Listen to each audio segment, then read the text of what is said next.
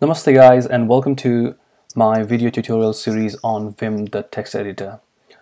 Um, this is an amazing text, editor that comes with almost every um, installation of Linux and it's uh, very powerful. Uh, it has really amazing support in the community and it has been known for a difficult learning curve. Um, so I'm gonna put up a few videos to help you guys get started with it and hopefully um, get to a level where you can switch to Vim from your current text editor, retaining your productivity, right? So who is this video series aimed at? Um, anyone who wants to start up, uh, start off with Vim um, can um, benefit from this series, right? So you could be someone who just wants to uh, know Vim to show off to your friends. Yeah, welcome you could be someone who uh, you could be a sysadmin who constantly SSHs into different Linux machines and um, might need to do a little bit of configuration uh, changes uh, on the fly. Um, Vim is perfectly um, a good tool to do that, right? Um, and you might be someone who's using some other text editors, Emacs included, but wants to switch because you've heard so many good things about Vim. Uh, you're, you're welcome as well. Um, all right, so this is a website that you can see uh, for Vim. It's vim.org, and I wanted you guys, uh, you guys to see uh, what uh, Vim is all about, right?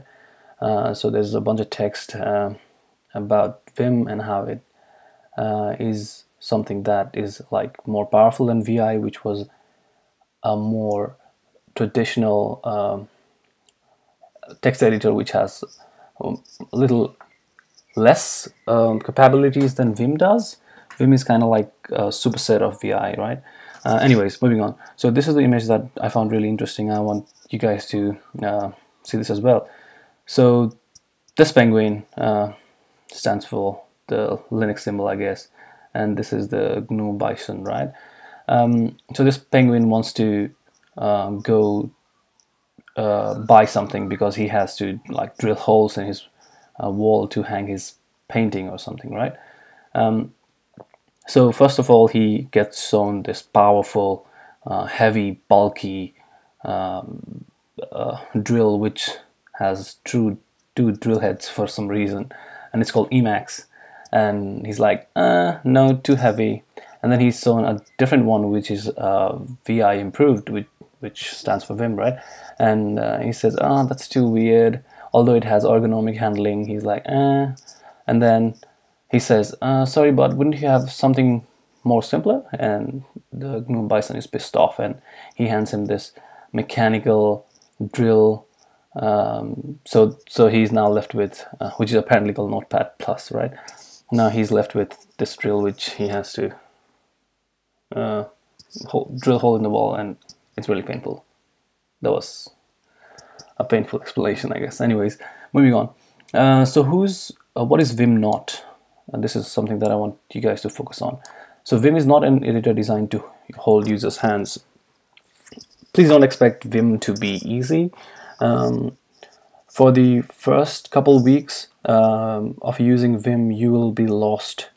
Um, you you will find uh, these weird arcane key combinations instead of the familiar things that you were used to in your old text editor, right?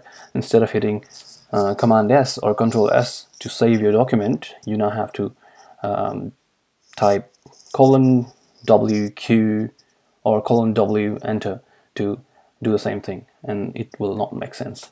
And you can't just like read up a document and be like, all right, I know Vim, now let's start using it. No, that's not how it works. Okay, cool.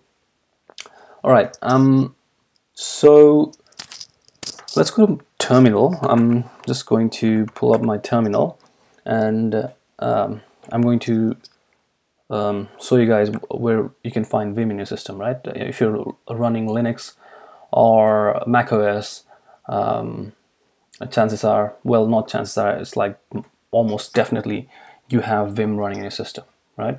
So if you type uh, which Vim, which is uh, Linux utility which helps you locate where this thing is in your system.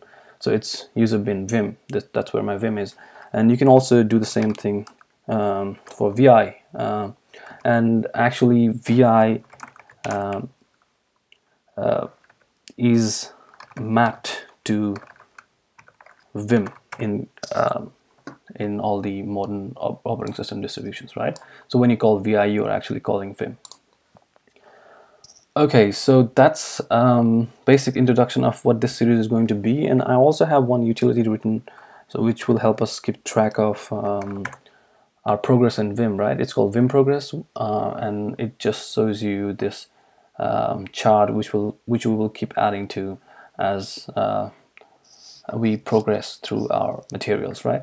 Um, so when you're at 20, I expect you guys to be uh, like capable of doing things that you could do with Notepad in Vim, right? And at 40, you'll be like, hmm, okay, I, I get why Vim does that. I get why Vim is so complicated, right? Quote unquote complicated. Um, and then at 60, you'll be like, uh, I don't mind. I could use Vim or I could use whatever VS Code or whatever, right? And at 80, you'll be like, whoa, what was I doing all my life? That's the goal.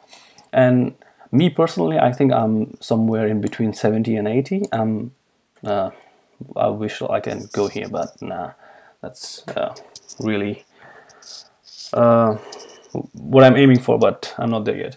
Alright, that's it for this video, and in the next video, we'll start with introduction to Vim and uh, uh, how you can get started, right? Thank you so much, guys. See you in the next